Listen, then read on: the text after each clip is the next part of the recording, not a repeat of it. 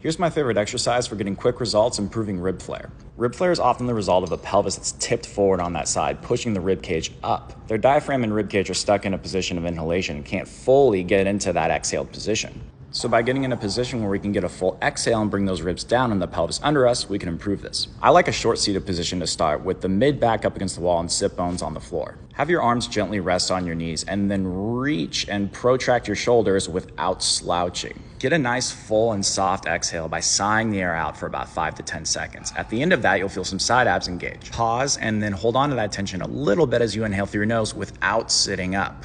Some people struggle to get a full exhale, so using a straw or a balloon even can be really helpful.